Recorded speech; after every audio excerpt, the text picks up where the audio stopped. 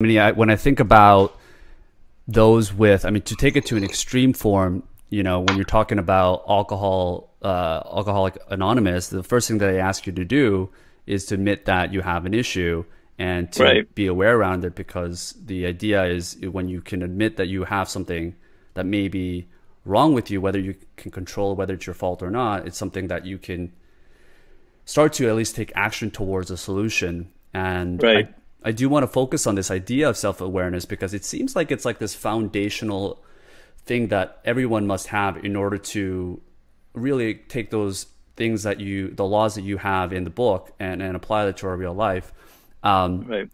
I'm, I'm curious to know, you know, what what is something that uh, someone can do to gain a greater self of uh, awareness? Is this is there some sort of tactics that have worked based on people you've worked with or people that have read your book?